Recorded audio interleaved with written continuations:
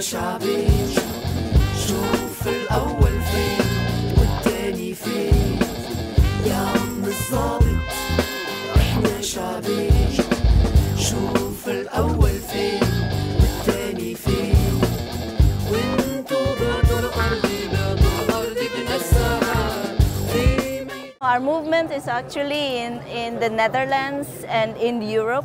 We are part of the convergence of different transnational migrant platforms, like, for example, from Morocco, from Latin America, from Africa, and we try to address the issue of rights in, uh, in Europe.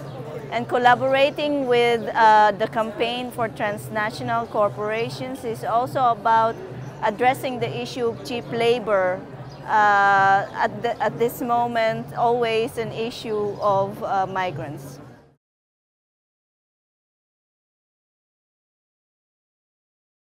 I think it is very important, especially at this moment where the migrants' rights are very much violated, uh, to converge with some other uh, social movements and to have together one voice and to develop alternatives.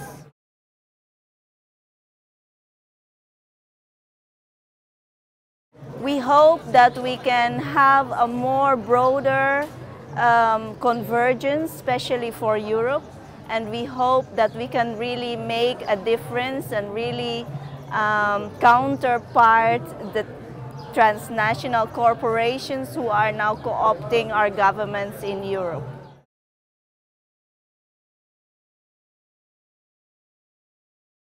It's very much uh, the same uh, in the sense here in Tunisia we have just heard yesterday how much it is also being uh, affected by the externalization of borders of Europe. And also here the migrants are in a very difficult situation. And people's uh, alternatives in giving support it's not the government but the people's initiative giving support to migrants and with that, we hope to give them and this forum to give them that kind of support also that we are here and for all the rights of peoples. Yeah.